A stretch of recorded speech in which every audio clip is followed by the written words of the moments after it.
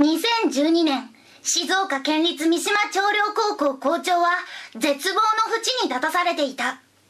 校内は物を大切にしない生徒にあふれ風紀の乱れは極限状態。生徒の精神のパワーは行きどころを失い無断欠席は当たり前。そして想像力の書いた生徒が毎日生み出されていた。長領に平和を取り戻すにはオンしかない。海瀬君折り入っての相談とは何だい？校長先生最近校内が騒がしくて落ち着いて生活できないんです。先生たちで何とかしてくれませんか？先生たちに頼るのではなくまず生徒の力で何とかすべきだよ。えどうしてですか？君たち自身が立ち上がらなければ学校の雰囲気は良くならないんだよ。僕たちにできることは何ですか？レギオンプロジェクト発動。イエスさん幸運を祈ります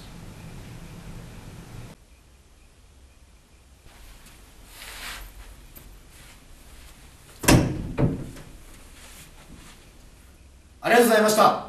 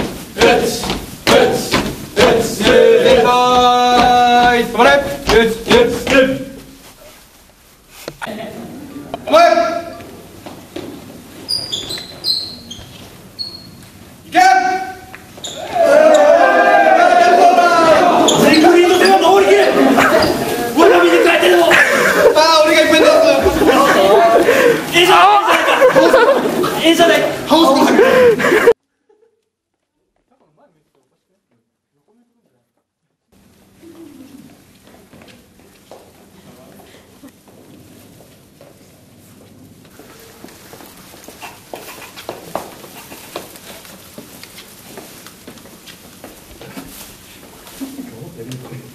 어디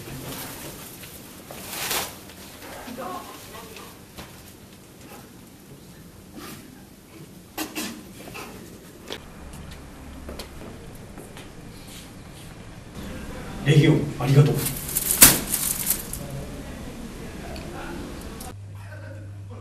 充電なくなっちゃったんだけど。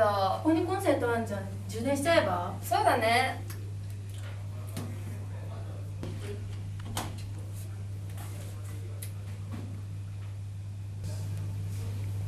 飴のゴミどうする？そこら辺でよくね？そうだね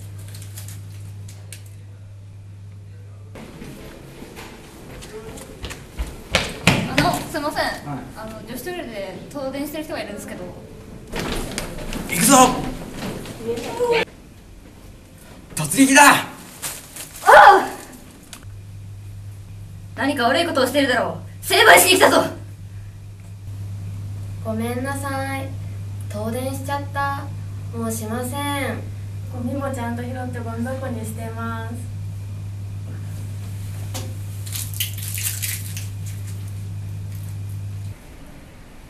長領に平和を。イエスさやべえ面白いこれ。夜のちゃんより面白い。夜も9時過ぎてるもんね。だけど俺たち帰らないぜ。ああそう。だねゲーム面白い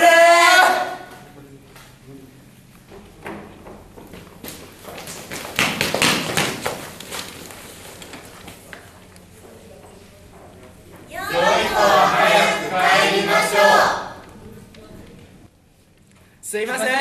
これからは早く帰ります。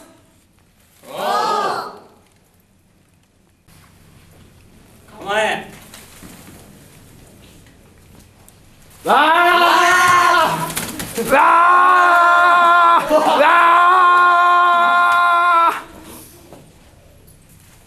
制圧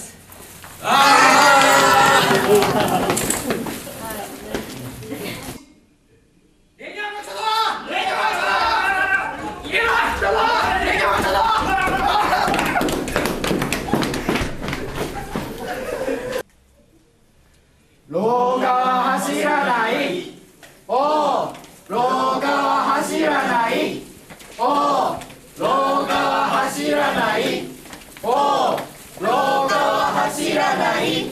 おお廊下は走らない。お。お練習をエレベーター早く来ないかな。あれ？ちょっと待って。優先させよ優先させよ優先させろ優先させよさせよさせよさせよさせよ優先させよ優先させよさせよはいどうぞ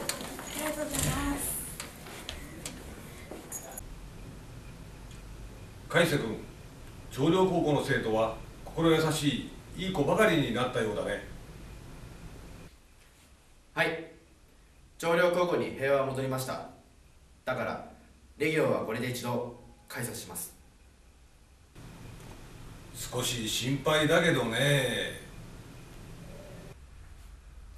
校長先生大丈夫ですよ。